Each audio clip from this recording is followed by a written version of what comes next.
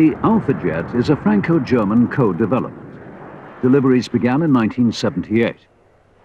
France and Germany each ordered 175 aircraft and other orders soon followed.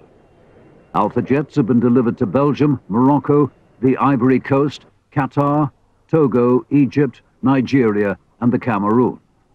In total, over 500 aircraft have been produced.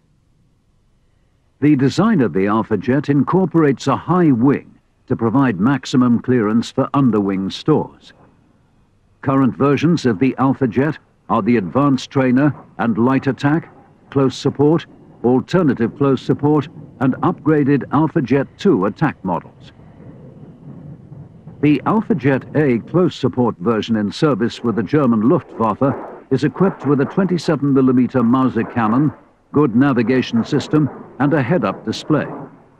In the reconnaissance role, a pod of optical cameras can be attached to the Alpha Jet centerline hardpoint.